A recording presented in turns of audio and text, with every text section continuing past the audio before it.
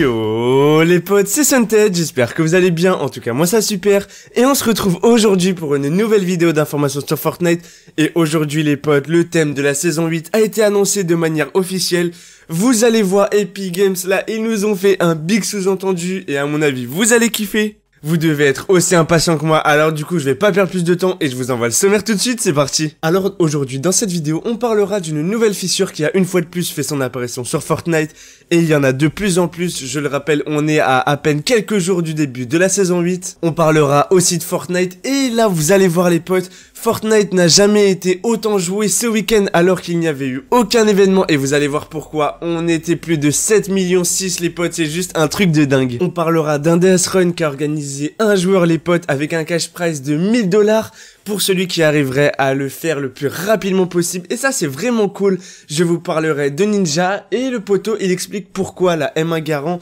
le nouveau fusil d'infanterie, est l'une des meilleures armes du jeu. On parlera de Défu et de Cloa qui finalement ne participeront pas à l'ESL, un énorme tournoi avec un cash prize de 500 000 dollars.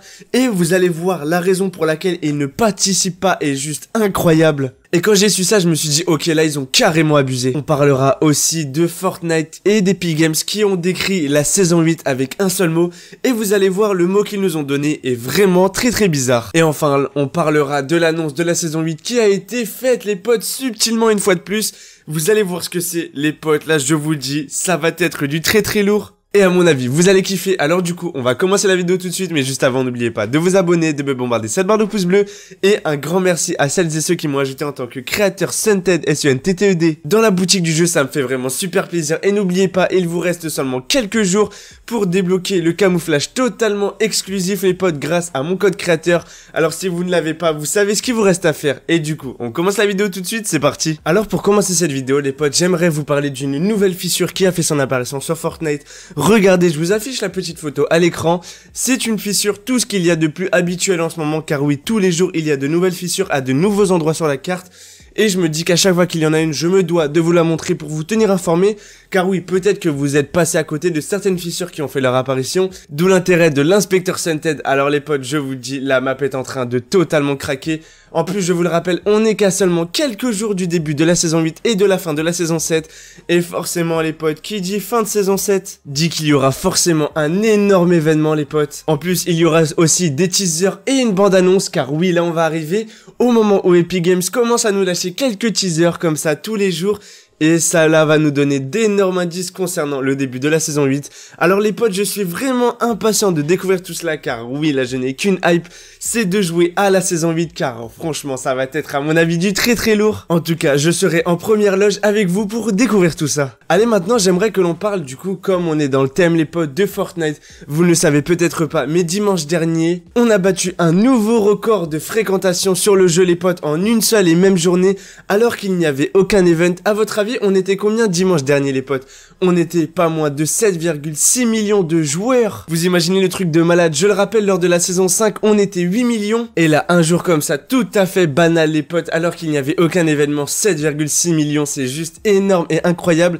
Et c'est là que je me dis, ok, c'est une très bonne chose. Pourquoi? Parce qu'il y a certaines personnes qui disent, ouais, mais Fortnite, euh, j'aime pas trop, etc. C'est un jeu dont tout le monde va finir par se lasser, même il s'en lasse déjà, alors que pas du tout, les potes. Nous, on kiffe ce jeu, on continue d'y jouer et on n'a jamais été autant. Alors franchement, ça, c'est une très bonne nouvelle. Allez, j'aimerais maintenant vous parler de Tefu et de Cloak qui finalement ne participeront pas à l'ESL, un tournoi dont je vous avais parlé précédemment, qui regroupait de nombreux joueurs internationaux pour un tournoi en solo et en duo. Et finalement les potes, Tefu et Cloak ont annoncé qu'ils n'y participeraient pas, tout simplement pourquoi? Car d'après eux, le tournoi ne leur rapporterait pas autant d'argent que lorsqu'ils restent chez eux à stream. Et là je me suis dit non mais franchement c'est n'importe quoi.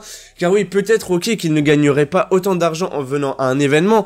Mais quand même au moins ça permet de voir des choses, de rencontrer ses abonnés, de rencontrer d'autres personnes et d'autres youtubeurs. Et franchement tout ça pour une question d'argent j'ai pas du tout trouvé ça cool.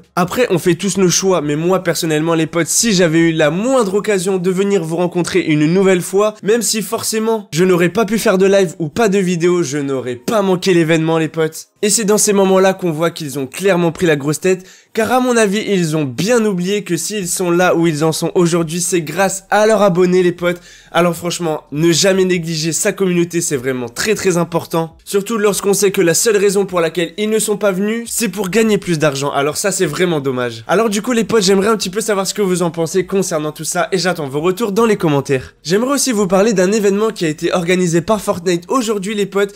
Il s'agit de l'événement AMA. Alors AMA, vous allez me dire, oui mais Sunted, je ne sais pas du tout ce que c'est. Eh c'est normal les potes, tout simplement car cet événement ne s'est pas passé sur Fortnite directement dans le jeu, mais en gros c'est un événement à l'intérieur duquel les joueurs de la communauté de Fortnite ont pu poser des questions directement à Epic Games et à Fortnite où ils ont pu avoir plusieurs réponses, notamment par exemple sur les fonctionnalités qui allaient être ajoutées, sur la suite des événements dans le jeu, sur tout ce qui allait se passer prochainement tout autour de Fortnite. Et là je me dis si seulement j'avais pu participer à cet événement, j'aurais posé énormément de questions pour la Team Sunted, comme notamment qu'est-ce qui va se passer dans la saison 8, qu'est-ce qui va se passer dans la saison 9, quand est-ce qu'on aura de nouveaux cadeaux gratuits? Alors les potes, si vous aussi vous avez quelques questions à poser à Epic Games, ne vous gênez pas, j'attends toutes vos questions dans les commentaires. Allez, j'aimerais maintenant vous parler d'un Death Run qui a été organisé par un joueur de Fortnite avec un cash price énorme de pas moins de 1000 dollars les potes.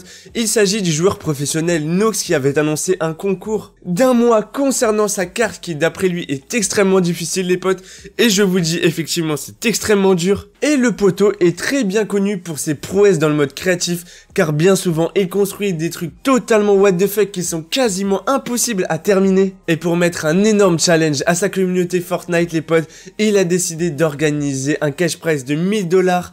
Tout simplement, il faudra réaliser le parcours le plus rapidement possible, récupérer tous les PQ, oui, ah, c'est comme ça qu'il les appelle les PQ, et lui en faire une vidéo et lui envoyer ensuite sur Twitter et le concours finira le 21-03. Alors les potes, franchement là, il y a carrément le temps pour finir le parcours. Et si jamais vous voulez y participer, il suffit d'aller simplement sur le Twitter de Nox, qui est un joueur de la Mokiti Sport, et de regarder tout simplement le code de son île les potes, parce qu'actuellement il ne l'a pas communiqué. Mais au moins maintenant, si vous voulez tenter votre chance, vous savez ce qu'il vous reste à faire. Allez, j'aimerais maintenant vous parler du poteau ninja. Et oui, le poteau, il nous a annoncé pourquoi la M1 Garand, le nouveau fusil d'infanterie, était l'une des meilleures armes actuellement sur Fortnite. Et vous allez voir pourquoi, franchement je suis carrément d'accord avec lui, je vous l'avais dit cette arme elle est juste exceptionnelle, alors écoutez parce que là c'est très intéressant. Déjà, on le sait, pour la plupart des joueurs sur Fortnite, le fusil d'infanterie n'est pas une excellente arme, car oui, elle n'a pas une cadence de ouf, elle est assez précise, mais voilà, c'est tout, là, clairement, en combat rapproché, elle ne va pas servir à grand chose. Tandis que d'autres personnes, les potes, la voient vraiment comme le fusil de précision par excellence, à moyenne et longue distance. Et donc concernant le poteau ninja, en gros il était en game, en squad avec ses potes, et là tous les poteaux ninja disaient que c'était une arme qui était vraiment nulle, que ça n'avait rien à voir comparé à l'Ascar, alors on va pas se le cacher, c'est différent forcément, l'Ascar a une cadence de tir beaucoup plus rapide, mais ses dégâts sont moindres. Et là Ninja a dit, je cite, hum, le fusil d'infanterie n'est pas mauvais du tout, de quoi parlez-vous? Il a dit aussi qu'elle était vraiment pas mal, que vous pourrez tirer si vite avec. Tout ce que je dis, c'est que c'est une version bien améliorée de l'AK-47, car vous pouvez tirer plus vite tout en étant beaucoup plus précis, fin de citation. Donc là clairement le poteau ninja, il a pris parti pour cette arme, en plus il a carrément raison, la cadence de tir de ce fusil d'infanterie est beaucoup plus rapide que celle de l'AK et en plus sa précision est bien meilleure, je le rappelle. Elle fait du 85 dans la tête, c'est-à-dire que vous mettez 3 headshots d'affilée ou 2, 3, 4 balles dans le corps et c'en est fini. Alors le poteau, il a carrément raison, cette arme est complètement cheatée. En plus, le bruit du rechargement est juste magnifique, alors moi je valide carrément. Et vous les potes, qu'est-ce que vous en pensez? Eh bien j'attends vos retours dans les commentaires. Allez oui, comme je vous le disais, Fortnite a répondu à quelques questions. Et il y a notamment une question qui s'est vraiment énormément démarquée les potes lors de l'événement AMA, c'était un joueur qui a demandé à Epic Games de résumer la saison 8 en un seul mot, et là Epic Games a eu une réponse vraiment très surprenante, ils lui ont répondu clin d'œil. Alors là c'est vraiment bizarre, ça ne veut strictement rien dire, à mon avis, ils ont dit ça tout simplement pour l'éloigner de la piste, c'est-à-dire lui dire un petit clin d'œil, genre t'inquiète poteau, on peut pas t'en dire plus pour le moment. Donc ça c'est un petit peu la théorie numéro 1 et la plus probable, parce que ça n'a vraiment pas de sens.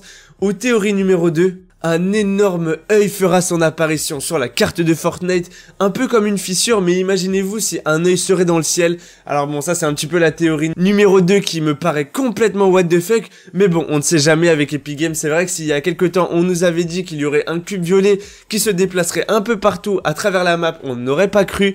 Alors bon, au moins comme ça, on est prévenu. D'ailleurs, c'est vraiment bizarre et c'est très contradictoire car je vous le rappelle les potes, Epic Games a annoncé de façon vraiment subtile une fois de plus la saison 8 car aujourd'hui, les scaphandres sont sortis dans la boutique du jeu et ça c'est vraiment louche les potes. Pourquoi on aurait besoin de scaphandres sur la carte alors qu'il n'y a aucun point d'eau? Tout simplement parce qu'on n'en a pas besoin tout de suite mais qu'on en aura prochainement, ce qui annonce que de l'eau va faire son apparition sur la map.